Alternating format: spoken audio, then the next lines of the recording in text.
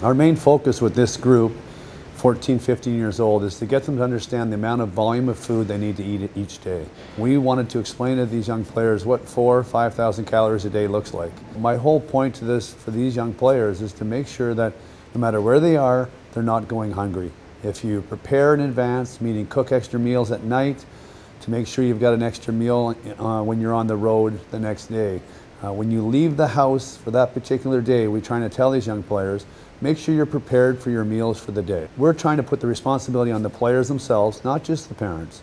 To get to the volume of food that these players need to eat daily, we really focus on good carbohydrates. There's lots of calorie in carbohydrates, uh, with the amount of training these guys are doing, they need good carbohydrates. So, so adding sweet potato to your protein, adding quinoa to your protein, adding brown rice to your to your protein. Always having a very healthy, uh, high energy carbohydrate to go along with the protein and fat that you're having every meal. They need uh, very healthy carbohydrates.